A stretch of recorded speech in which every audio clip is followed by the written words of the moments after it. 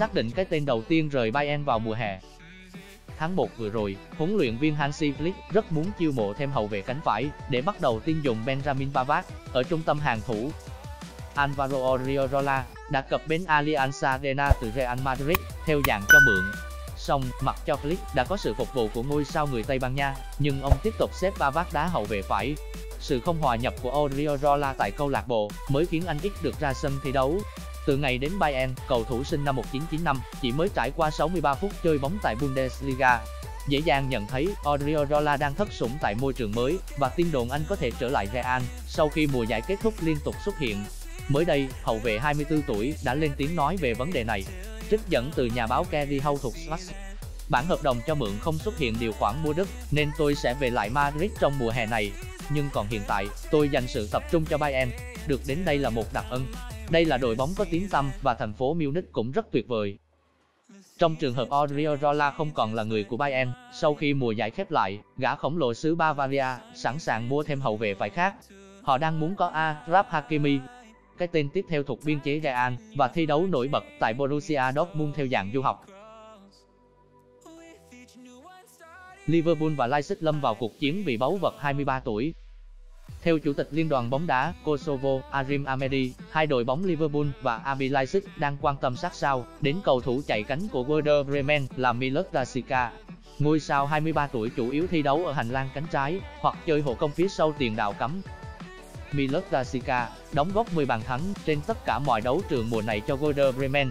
Phát biểu trên CCTV, Arim Amedi cho biết có khá nhiều đội bóng quan tâm đến anh ta. Tôi biết Liverpool ở Premier League, RB Leipzig ở Bundesliga. Tôi nghĩ rằng Rashica sẽ cân nhắc đâu là quyết định tốt nhất cho tương lai sự nghiệp bóng đá của mình. Rashica gia nhập Werder Bremen từ Vitesse vào tháng 1 năm 2018. Tính đến thời điểm hiện tại, Rashica sở hữu 23 bàn thắng sau 64 lần xỏ giày ra sân cho đội bóng nước Đức. Anh cũng có 27 lần khoác áo đội tuyển quốc gia Kosovo. Theo dự đoán của giới chuyên môn, Dasica hoàn toàn có thể trở thành phương án thay thế Serdan Sakiri tại Liverpool hoặc dự phòng cho tam tấu Mohamed Salah, Roberto Firmino và Sadio Mane. Trong khi đó, RB Leipzig nhiều khả năng chiêu mộ Rasika để phòng trường hợp chân sút Timo Werner ra đi mùa hè này. Tuy nhiên, đứng trước bối cảnh tài chính bị ảnh hưởng nặng nề bởi đại dịch, cả Liverpool lẫn RB Leipzig cần phải cân đối thu chi trước khi tính đến các phương án khả thi trên thị trường chuyển nhượng. Cựu sao Liverpool xin đá bóng, không công để hoàn tất cột mốc 100 bàn ở League One. Dù đã nói lời chia tay bóng đá vào năm 2017 vì chấn thương và hướng tới việc trở thành DJ chuyên nghiệp, Rivrice vẫn đứng ngồi không yên vì chưa thể hoàn thành cột mốc ghi bàn tại giải quốc gia Pháp. Chân sút từng giúp Liverpool giành chức vô địch UEFA Champions League 2005, có thời gian dài thi đấu ở Pháp trong màu áo các câu lạc bộ Ose, Marseille và Bastia, ghi tổng cộng 96 bàn thắng tại League One với việc chỉ còn 4 pha lập công nữa để chạm tới mốc ghi 100 bàn. Anh cho biết sẵn sàng trở lại thi đấu ở tuổi 38 nhằm hoàn thành giấc mơ còn dang dở. Như mọi người cũng biết, các tiền đạo thì luôn đam mê ghi bàn và chạm đến các cột mốc 25, 50, 75 pha lập công. CC tiết lộ trong cuộc phỏng vấn với Sau Phúc, cột mốc 100 bàn thắng vẫn luôn là điều ám ảnh tôi. Nó đã dừng lại ở con số 96 khi tôi giải nghệ. Thiếu 4 bàn thắng nữa là điều làm tôi phát điên. Tôi muốn trở lại League One để làm chuyện đó. Nếu được một câu lạc bộ nào đó chiêu mộ, tôi có thể thực hiện chỉ trong vòng 2 hay 3 tháng. Một khi mục tiêu đã được đặt ra, tôi sẽ làm đủ mọi cách để hoàn tất nó. Tôi sẵn sàng thi đấu mà không cần nhận lương nên điều này sẽ chẳng phải canh bạc với bất cứ đội bóng nào. Vẫn chưa có liên hệ nào, nhưng tôi hy vọng là sẽ sớm có một đội bóng như thế xuất hiện. Mùa 2014-2015 là lần cuối cùng Real Cisse thi đấu ở League One trong màu áo câu lạc bộ Bastia.